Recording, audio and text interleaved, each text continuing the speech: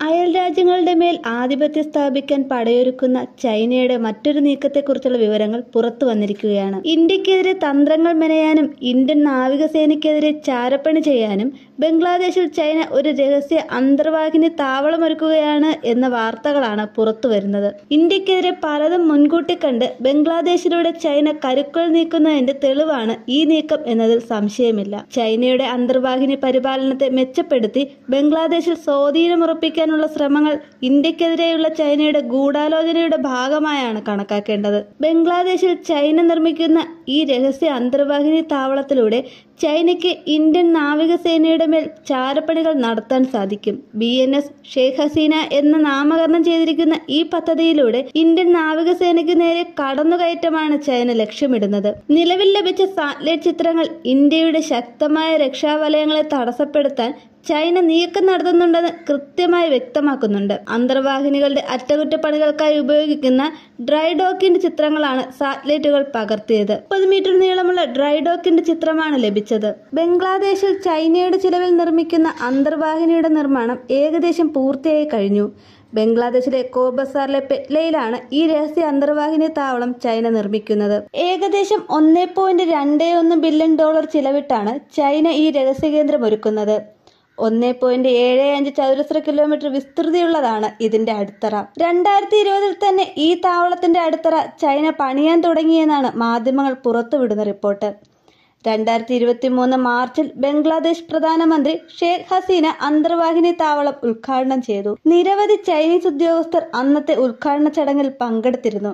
ഇതും ശ്രദ്ധിക്കേണ്ടതാണ്. ചൈനയുടെ ഈ പുതിയ പദ്ധതി പ്രകാരം ബംഗ്ലാദേശിലെ അന്തർവാഹിനി താവളം പ്രവർത്തനക്ഷമമാകുന്നതോടെ ഇന്ത്യക്കെതിരെയുള്ള ചൈനയുടെ തന്ത്രപ്രധാനമായ നീക്കങ്ങൾക്ക് വേണ്ടി കരുക്കൾ നീക്കി തുടങ്ങാനാകും എന്നതാണ് ചൈനയുടെ പ്രതീക്ഷ. ഇതിനോടകം തന്നെ ചൈന ബംഗ്ലാദേശിന് രണ്ട് അന്തർവാഹിനികൾ നൽകിയിട്ടുണ്ട്. ഇത്തരം പദ്ധതികളെ ചൈനയുടെ അന്തർവാഹിനി നയതന്ത്രമായി വിദഗ്ധർ വിലയിരുത്തുന്നു. ബംഗ്ലാദേശ് താവളത്തിലേക്ക് അറ്റകുറ്റപ്പണികൾക്കും അന്തർവാഹിനികളുടെ നിർമ്മാണ പുരോഗതിക്കും വേണ്ടി കൂടുതൽ ചൈനീസ് അന്തർവാഹിനികൾ ബംഗ്ലാദേശിലേക്ക് എത്തിക്കുമെന്നതാണ് റിപ്പോർട്ട്.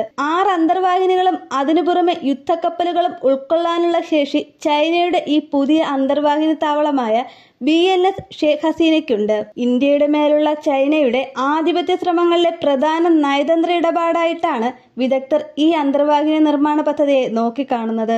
ഇന്ത്യയിലെ തന്ത്രപ്രധാനമായ വിവരങ്ങൾ ചോർത്തിയെടുക്കാനും നാവികസേനയ്ക്ക് നേരെ ചാരപ്പണികൾ നടത്തുവാനും ചൈന ഈ നീക്കം ദുരുപയോഗം ചെയ്യാൻ ഇടയുണ്ടെന്നാണ് ചർച്ചകൾ.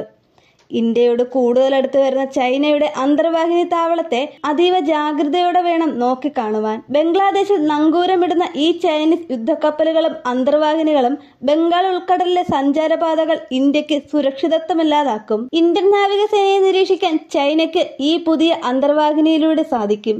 ഇതിലൂടെ ചൈനയ്ക്കെതിരെയുള്ള ഇന്ത്യയുടെ നീക്കങ്ങൾ ചൈനയ്ക്ക് നിഷ്പ്രയാസം അറിയുവാനും സാധിക്കും. ചൈന സമുദ്രാധിപത്യത്തിനുള്ള നീക്കങ്ങൾ തുടങ്ങിക്കഴിഞ്ഞു എന്ന വിവരം നേരത്തെ തന്നെ റിപ്പോർട്ട് ചെയ്തിരുന്നു. അമേരിക്കയുടെ നാവിക ശക്തികളെ കീഴ്പ്പെടുത്താനായി ചൈന നാലാമത്തെ അന്തർവാഹിനിക്കായുള്ള മുന്നൊരുക്കങ്ങൾ തുടങ്ങിയെന്നായിരുന്നു റിപ്പോർട്ടുകൾ. ബംഗ്ലാദേശിനെ മറയാക്കി ചൈനയുടെ പുതിയ നയതന്ത്ര ഇടപാടുകൾ ഇന്ത്യൻ നാവികസേനയ്ക്ക് മേലെയുള്ള നിരീക്ഷണത്തിനാണെന്ന് നിസ്സംശയം പറയാം. ഇന്ത്യയെ നിരീക്ഷിച്ചുകൊണ്ടിരിക്കുക.